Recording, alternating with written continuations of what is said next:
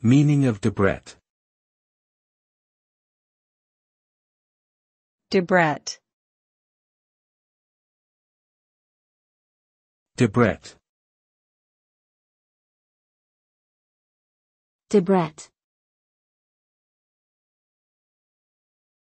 Debrett.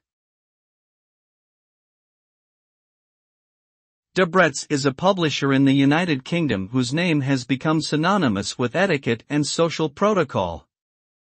Founded in 1769, the company originally published a guide to the peerage and baronetage of the British Isles, but has since expanded to cover a range of topics related to high society, including dress codes, manners, and formal occasions. Today, Debrett's offers a range of products and services, from books and guides to training courses and personalized coaching, all aimed at helping individuals navigate the complexities of modern social and professional life.